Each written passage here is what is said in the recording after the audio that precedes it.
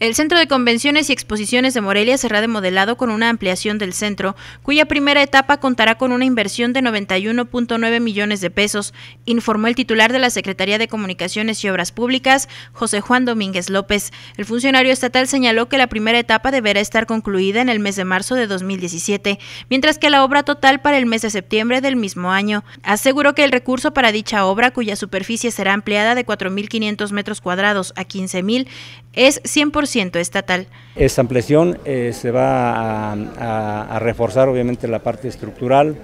y, el, objetivo es eh, dar una eh, mayor capacidad a este centro de exposiciones. No quisiera decir que inservibles a lo mejor no estaban optimizados o no, se, no, se, no tenían una modulación, una em,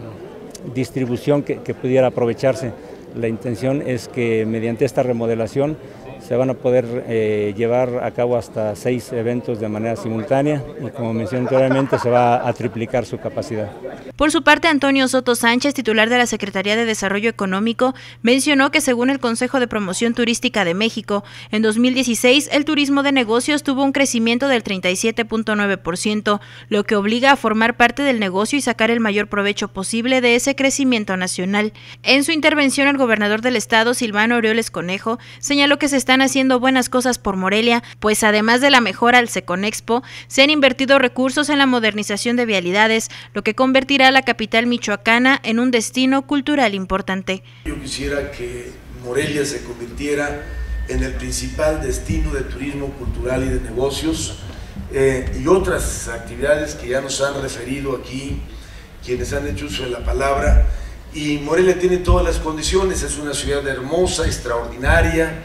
tiene buen clima, tenemos buena gastronomía y poco a poco se van mejorando servicios, van mejorando su calidad, todos le están poniendo su mejor esfuerzo, sobre todo a quienes les toca trabajar el área de turismo.